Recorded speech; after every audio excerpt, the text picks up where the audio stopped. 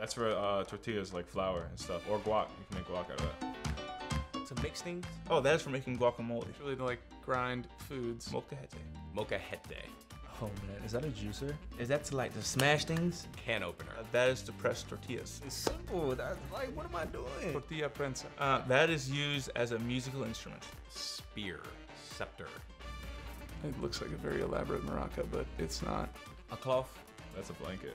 Could be worn as a poncho, A blanket or a poncho of some sort. Sarape. You know. I have no idea.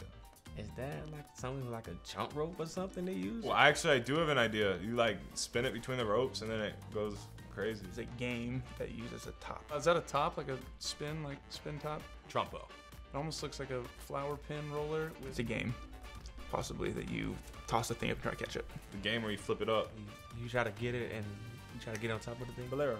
bolero. Love that game.